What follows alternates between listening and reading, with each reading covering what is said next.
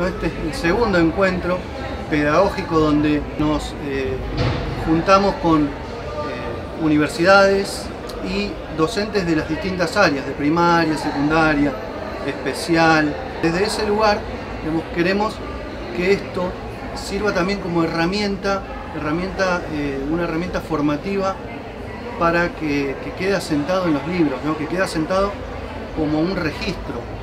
Moreno es el ejemplo, es un ejemplo pero se, pudo haber dado en cualquier otro distrito del conurbano porque no somos, y somos conscientes que no somos los únicos que estamos trabajando en estas condiciones.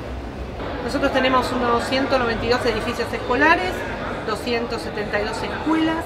De esos 192 edificios escolares, hoy hay alrededor de 70 que en los que estarían terminando, a la fecha de hoy. El gobierno nos planteó en diciembre que ellos se habían puesto como meta terminarlos el 5 de febrero y que les quedaba el margen hasta el 6 de marzo. La realidad es que hay muchas escuelas que todavía están en hora y que por lo pronto no sabemos si van a llegar.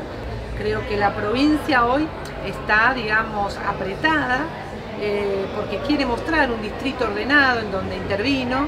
Acá se vienen invirtiendo 400 millones de pesos, fruto de la lucha organizada que dimos para, arreglar eh, los edificios escolares, lo que demuestra que la provincia el dinero lo tenía, lo que no tenía era la decisión política y lamentablemente con la muerte de nuestros compañeros y luego la, lucha posterior logramos que esto se definiera. Estuvimos en la comisión trabajando acerca de cómo sería esta bienvenida o este reinicio escolar que le decimos así nosotros.